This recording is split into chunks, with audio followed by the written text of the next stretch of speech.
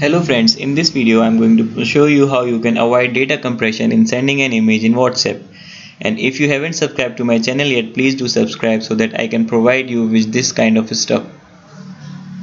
So firstly we will see what basically happens when we share an image in WhatsApp.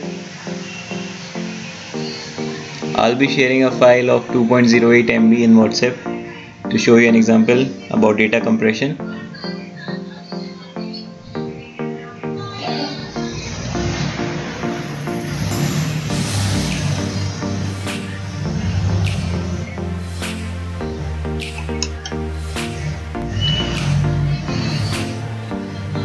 Okay we received our image.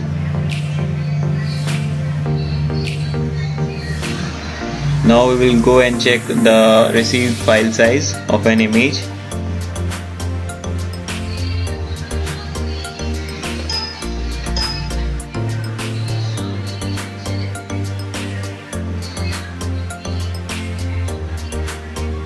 And we can see it's 123.34 KB that means it, it, it compressed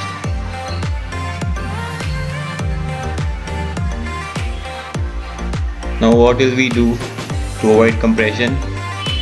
We will rename our original file with .txt. We will replace .jpg by .txt. Now it will become a document and WhatsApp will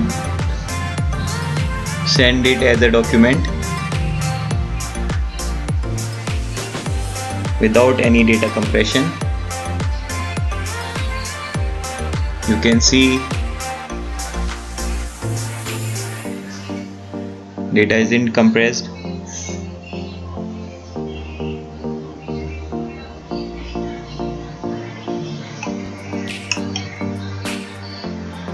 Now again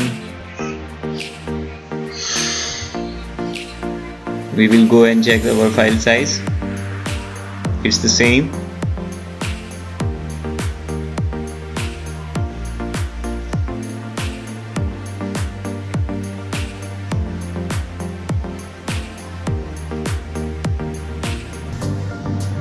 and you can see here